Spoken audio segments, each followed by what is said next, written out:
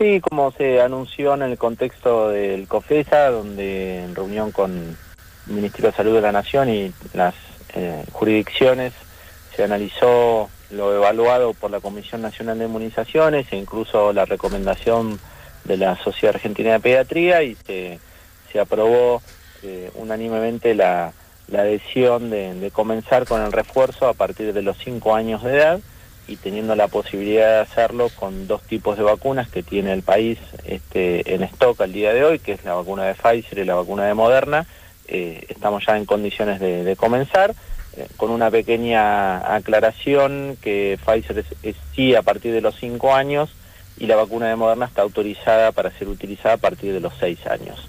Eh, eso, habiendo adherido todas las jurisdicciones y trabajado sobre los lineamientos técnicos para que los vacunadores dispongan de la información para poder hacer la aplicación y de tener la habilitación en el registro no solo provincial a nivel de Andes, sino también a nivel nacional, que es el registro NOMIVAC, donde se migra la información. Cumplido todos esos pasos, ya estamos en condiciones para, para comenzar este refuerzo, teniendo la disponibilidad y stock de vacunas para hacerlo. Eh, Matías, eh, ¿Cómo tiene que ser el intervalo? Digo, ¿a partir de qué eh, tiempo se puede aplicar este refuerzo en estos menores? Siempre es cuatro meses después de haber completado el esquema. Eh, hay menores que tienen esquemas de dos dosis y hay menores que por entrar en el grupo de, por ejemplo, pacientes inmunocomprometidos, perdón, inmunocomprometidos, eh, recibieron una dosis adicional, con lo cual es a los cuatro meses de esa dosis adicional. Entonces, aquel menor de edad que tenga un esquema completo de tres dosis por su dosis adicional, siempre tiene que contar cuatro meses desde la última aplicación y los menores de edad que tienen un esquema completo de dos dosis, también se contempla contar cuatro meses desde la última aplicación. ¿Se sigue con el mecanismo de poder vacunarse sin turno previo?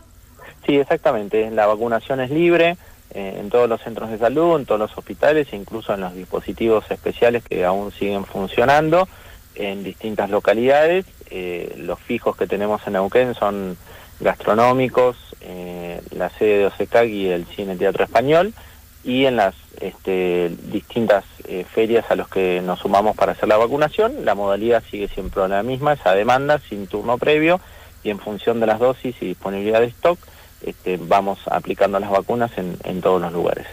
Digo, es importante recordar, ¿no? Eh, lo importante que es la vacuna, teniendo en cuenta que los casos de COVID-19 están aumentando y por otro lado, con el tiempo se pierde la efectividad, ¿no?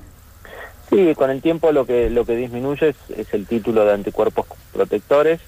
Si bien todavía no hay certezas de cuánto tiempo es, este, lo que se viene evaluando en los resultados preliminares de los estudios es siempre eh, eh, a partir de los seis meses de la última aplicación y teniendo en cuenta que vienen aumentando no tan exponencialmente, pero sí progresivamente los casos a nivel nacional y teniendo la disponibilidad de vacunas, se toma la decisión de eh, sanitariamente incluir a este grupo poblacional con la evaluación técnica de la Comisión Nacional y la Sociedad Argentina de Pediatría, sobre todo evaluando lo que es la seguridad de la aplicación de un nuevo refuerzo y no habiendo contraindicaciones para ello, este, se recomienda la aplicación para evitar las complicaciones graves, que si bien no es frecuente en la población pediátrica, se han observado complicaciones en pacientes donde se ha contagiado COVID, con lo cual eh, el refuerzo es siempre muy importante que para disminuir sobre todo eh, las complicaciones a las que hacía referencia y sobre todo también para disminuir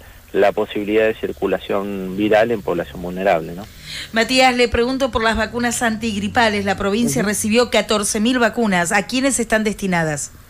Se recibió vacuna de la población adulta, eh, que es fundamentalmente la población que tiene alguna comorbilidad asociada o alguna situación de salud que tiene una indicación médica para recibir la vacuna antigripal y eh, lo que estábamos esperando también, si bien no es una cantidad importante de vacunas, pero recibimos eh, casi el 50% de lo que es la vacuna ayuvantada, que es la vacuna que viene eh, como reforzada, por, por, decirlo de alguna manera, para mayores de 65 años, que la población adulta mayor.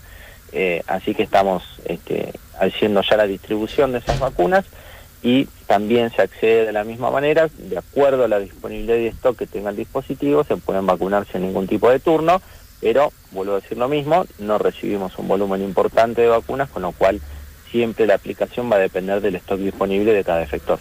No hay contraindicación entre la COVID-19 y la antigripal, ¿no es cierto? No, afortunadamente ya hace largos meses que venimos coadministrando las vacunas, no solo la antigripal, sino todas las vacunas de calendario regular junto a lo que es la vacunación COVID. Esto es mucho más eh, sencillo y cómodo de lo que sucedió hace un año, donde había que esperar 14 eh, días entre la aplicación de una y otra. Hoy por hoy está autorizada la coadministración de vacunas, solo es una aplicación en dos sitios diferentes, pero en dos sitios anatómicos diferentes, digo bien, eh, pero no hay ninguna contraindicación para coadministrar vacunas, no solo la, antigripal, sino el resto de las vacunas de calendario. Matías, le agradecemos muchísimo esta charla con RTN, ha sido usted muy amable. No, gracias Paula, que tengas buen día. Un abrazo grande, hasta luego. Matías Neira, director provincial de atención primaria de la salud, 12.35 minutos, momento de actualizar la temperatura 4 grados, dos décimas.